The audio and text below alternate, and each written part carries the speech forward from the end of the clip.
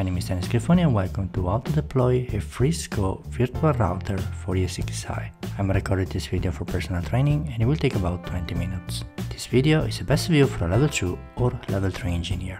So, let's start. In this video I'm going to connect multiple sites and services in Active Directory and I will use the Freesco virtual router that you can find on this website. I'm not going to use the official version, but I'm going to use the file that I found in this link on the VMware community.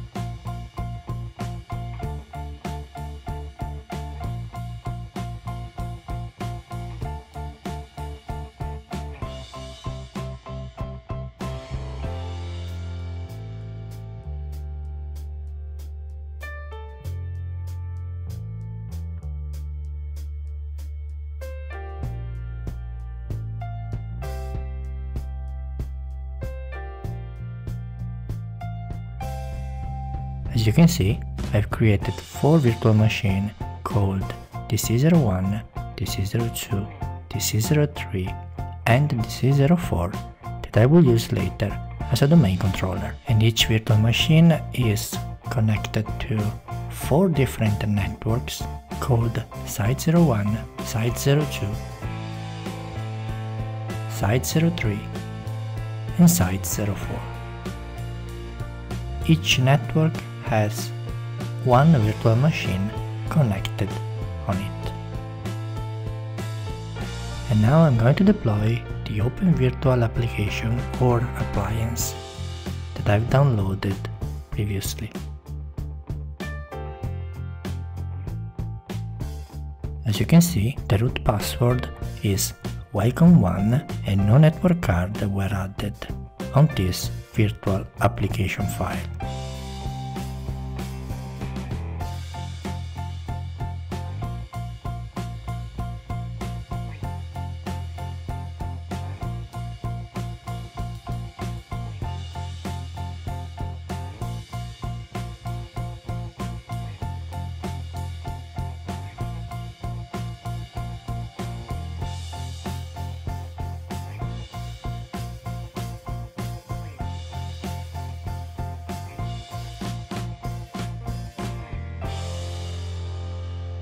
This video, in my lab environment, I'm going to create a virtual router with 4 network cards, where each one is connected to a different site.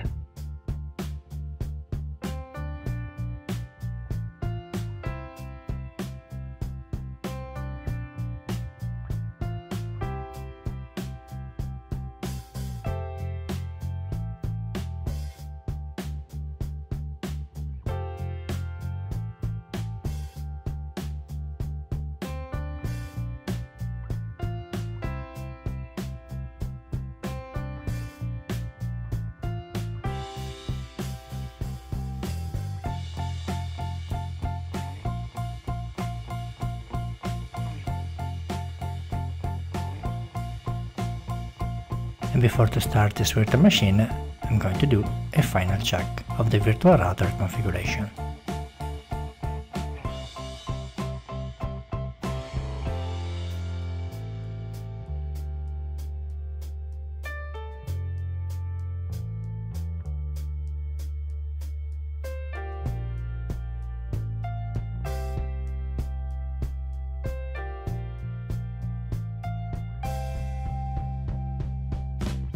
And I'm going to type setup before the first boot.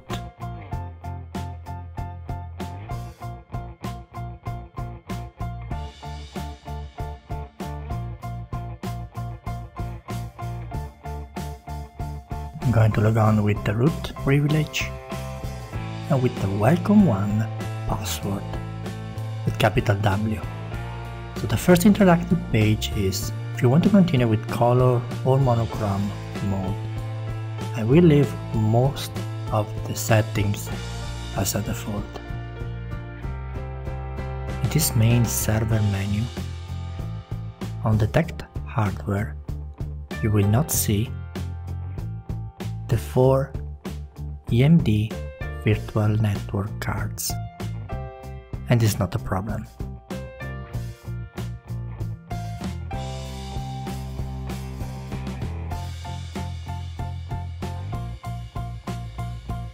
So from the initial router server type, I'm interested on the Ethernet router.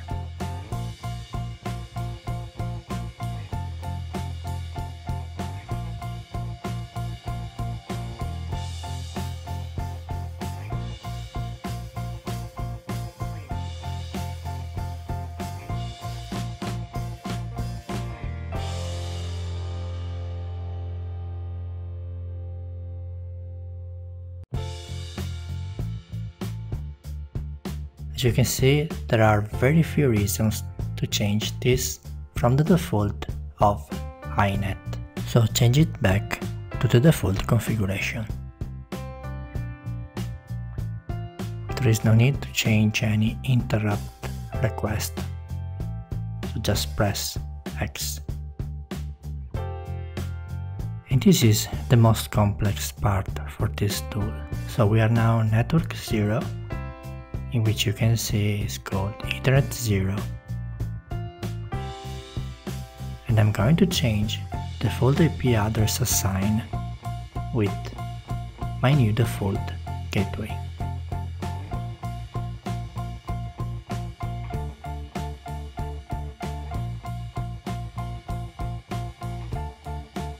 And I'm also changing the default DHCP client configuration to know. I strongly suggest to practice for a while before to go live with this virtual appliance. Now I'm choosing 1 as a network 1. As you can see,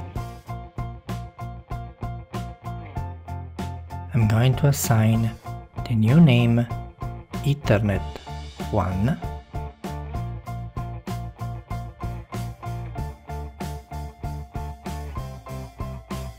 for the new network.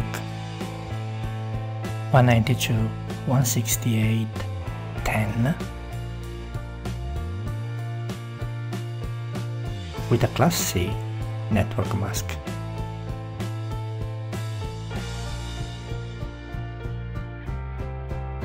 And I'm going to do the same for network 2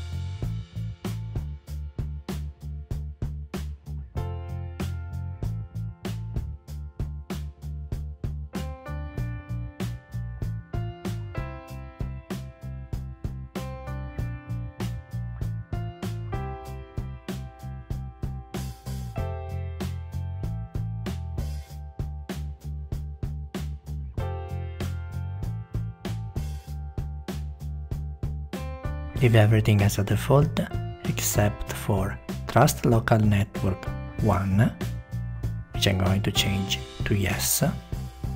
Same for Local Network 2 and the same for Local Network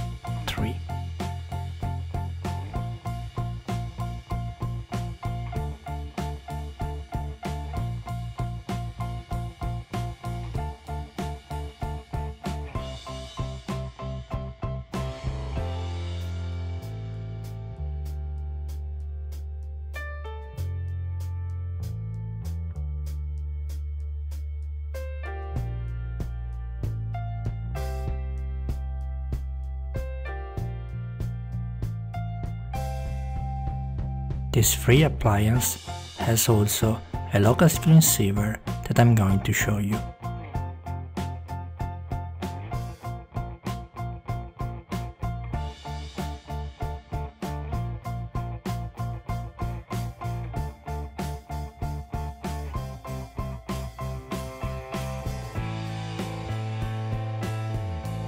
You can also practice with the internal DNS, DHCP, SSH and HTTP server provided by default.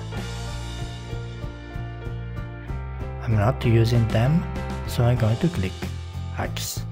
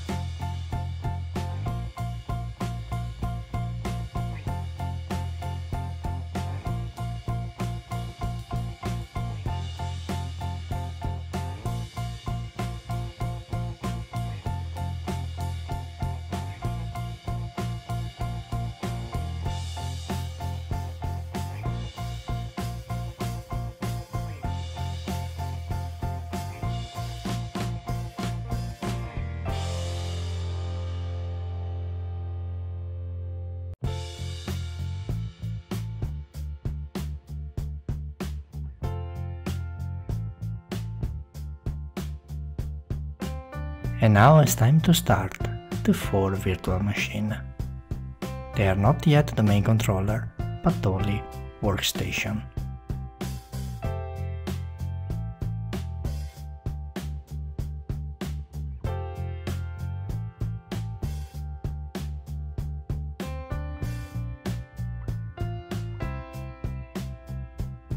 As you can see, each virtual machine is on the correct network is able to ping their default gateway. And also, every virtual machine is able to ping and reach each other from different networks. So for this video, I've created something like a star topology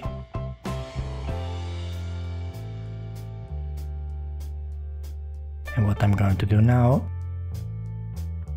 with a remote desktop connection, I'm going to connect from DC01 to DC02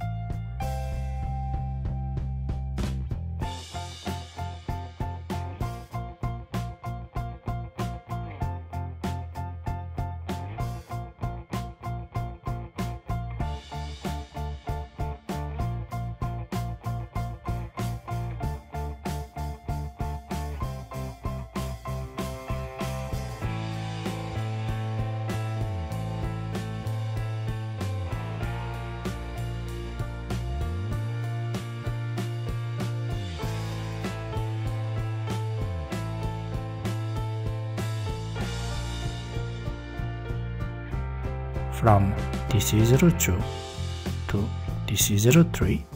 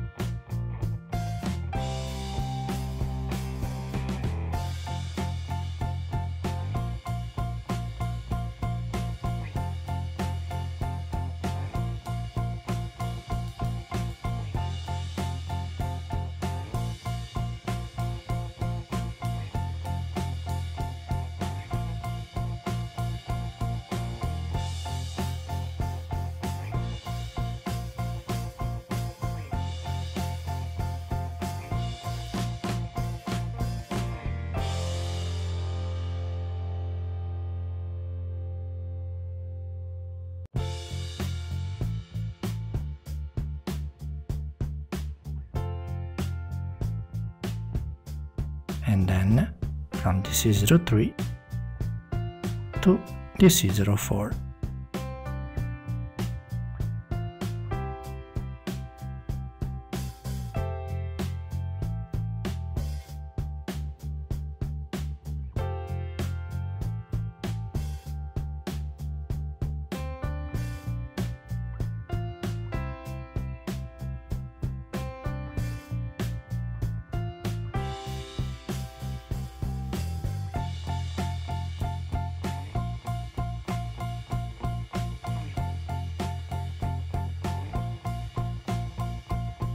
And after a few days of testing, here in Active Directory sites and services, you can see the four different subnet masks and each domain controller is now connected to each single site. What I'm going to do now on DC04 in site 4 is using one of my script.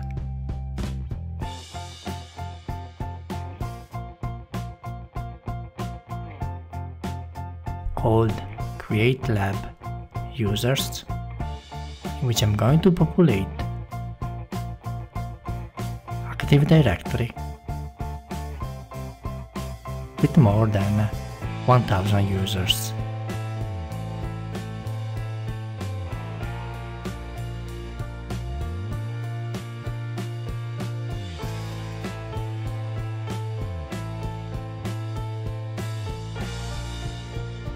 As you can see in Active Directory I have a new Exchange users organization unit with the lab user created via the script.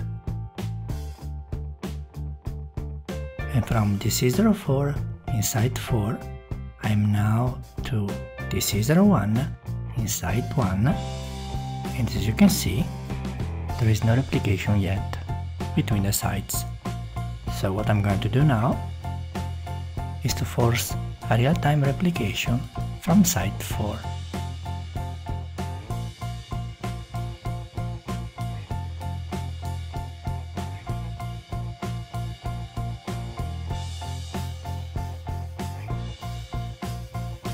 And after a few seconds, the replication was done.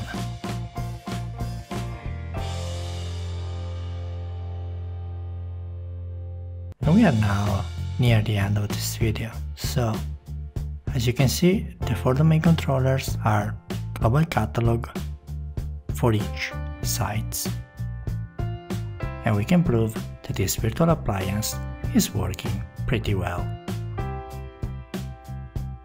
And before to finish this video, I'm going to shut down this FreeSCO virtual router running on ESXi 6.5.